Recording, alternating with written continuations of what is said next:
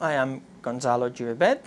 I'm the curator of invertebrate zoology at the Museum of Comparative Zoology at Harvard University, and I am also a professor in the Department of Organismic and Evolutionary Biology.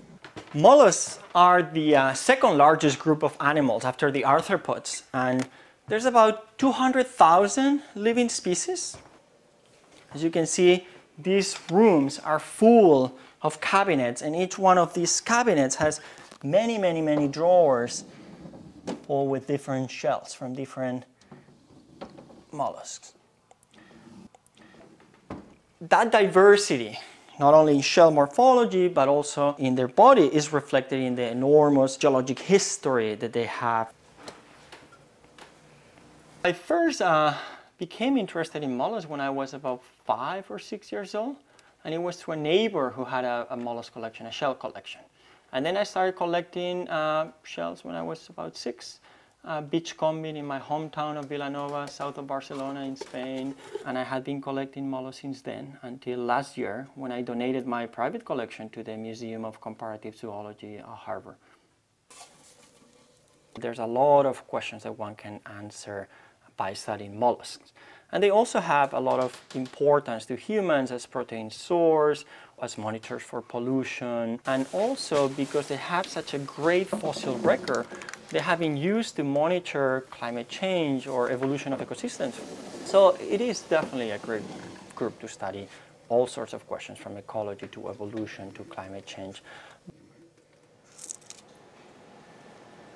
This is uh, my laboratory. Here we work on mollusks and other groups of animals. And some of the people working on the projects of mollusks are Sonia, who's a postdoc from Brazil. Giselle is another postdoc from Brazil. Erin is a technician generating a lot of DNA sequences for the Bivalve project. And here, hiding in the computer, we have Vanessa, who's a graduate student working on a group of bivalves called Archaeheterodons we have many questions about mollusks, but some of the most interesting ones we're dealing with nowadays are the relationships among the eight molluscan classes. And we can extract DNA and use the PCR machines to amplify target genes. Or now we're using other techniques called next generation sequencing. We can use hundreds or thousands of genes to infer the same phylogenetic relationships. And therefore the results are much more robust. One of the things that is most surprising to us is about the relationships of a group of mollusks. It's called a living fossil, the monoplacophorans. They were thought to have gone extinct more than 300 million years ago. Here's an example, a blown up model of an animal that is much smaller than an inch. So monoplacophorans resemble modern limpets.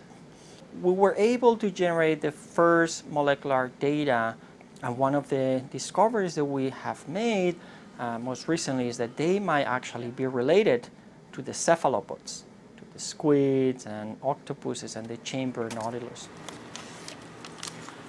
Cephalopods are very fascinating because the most primitive cephalopods had an external shell like we find nowadays in gastropods. And here's an example of one of these chamber nautilus. It was a very abundant group of cephalopods in the Ordovician seas. Then cephalopods lost their shell progressively, first by internalizing into a large calcium carbonate structure in the cuttlefish, like these examples that we have here. So these have a large internal shell, and then that large internal shell became a very thin, transparent shell in groups like squid pinnacle of evolution of cephalopods are octopuses, these very smart marine animal that we all know, that they have completely lost the shell. And that's what gives them the flexibility to, for example, being able to go inside and outside of a small bottle. And, and we actually found a, a, surprising result with their relationship with these monoplacophorans. That actually monoplacophorans and cephalopods are closely related. Uh, and they are Cambrian monoplacophorans that had chamber shells, the same as the shells that we find in the chamber nautilus. And that's one of the uh, explanations for the relationship of those two groups.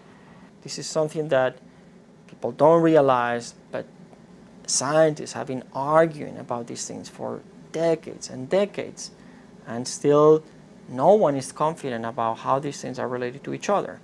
I think that all these new molecular data are going to really help us.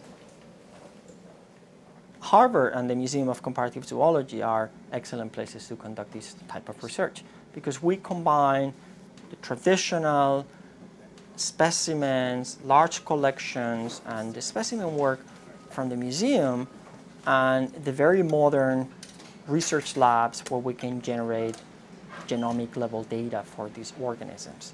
Very few places in the world can combine both the tradition and the modern in a fashion like we can do here at Harvard University.